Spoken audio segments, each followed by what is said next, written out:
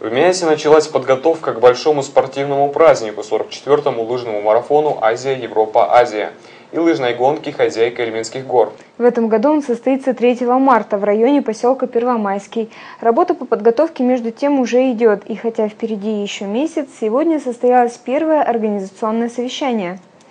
44-й по счету праздник лыжного спорта в этом году должен стать одним из самых массовых и запоминающихся мероприятий.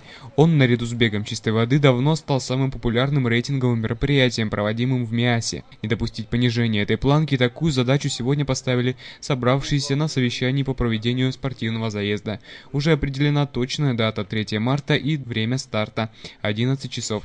Территория бывшего лыжного стадиона в поселке Первомайский будет полностью готова к приему гостей. Здесь будут работать оперативные службы организована развлекательная программа для гостей и спортсменов.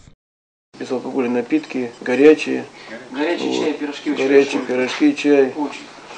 Ну, у нас, как обычно, весна. Мы с ним уже разговаривали. Как мы с удовольствием выйдем. Помимо этого еще, значит, мы планируем шашлыки, плов.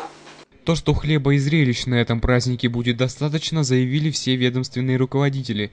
Комитет ЖКХ проведет очистку территории, поскольку высокий снежный покров значительно затрудняет подход и подъезд к месту мероприятия. Однако особая забота о спортсменах, качеству трассы призовому фонду обещает уделить особое внимание. Кстати, дистанция сверхмарафона в этом году не изменится. Она составляет 70 километров. Для девушек 35 километров, для юношей 17,5. Итог совещания подвел Геннадий Васьков. Песков. 44-й марафон. По сути дела, все должно быть отработано настолько уже у нас с вами, что без сучка, без задоринки. Понятно, что погода и снег коррективы свои вносят, но, очевидно, фактором определяющим они быть не должны. Напоминаем, лыжный марафон Азия-Европа-Азия состоится 3 марта в 11 часов в районе поселка Первомайский. Приглашаются участники и болельщики. Подробную информацию готовы предоставить в спорткомитете города.